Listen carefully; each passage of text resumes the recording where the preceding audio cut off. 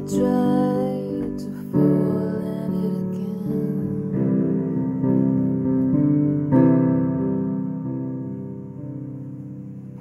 My friends took bets.